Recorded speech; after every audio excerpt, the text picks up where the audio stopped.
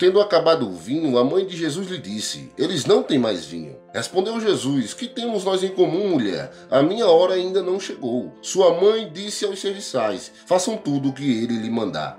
João 2, 3 ao 5.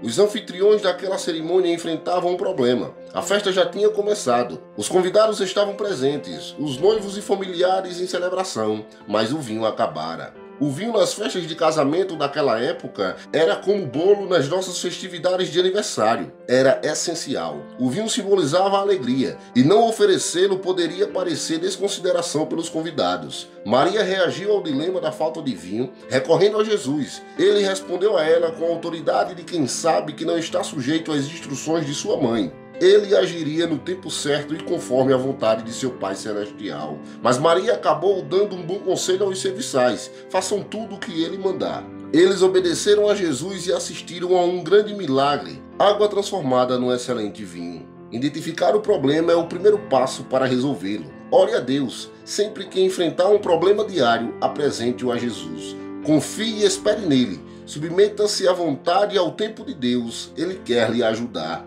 Busque ouvir a palavra do Senhor. Leia, medite e aplique em sua vida. Obedeça, faça o que ele lhe disser e verá ele agir em seu favor. Oremos. Senhor meu Deus, obrigado por sempre me ajudar nos meus dilemas diários. Ajuda-me a entregar todos os meus problemas em tuas mãos, confiando que o Senhor fará a sua vontade em minha vida, no teu precioso tempo. Tu és um Deus de milagres. Ensina-me a te obedecer em tudo que me mandas e ensinas na tua palavra. Em nome de Jesus eu te peço, amém.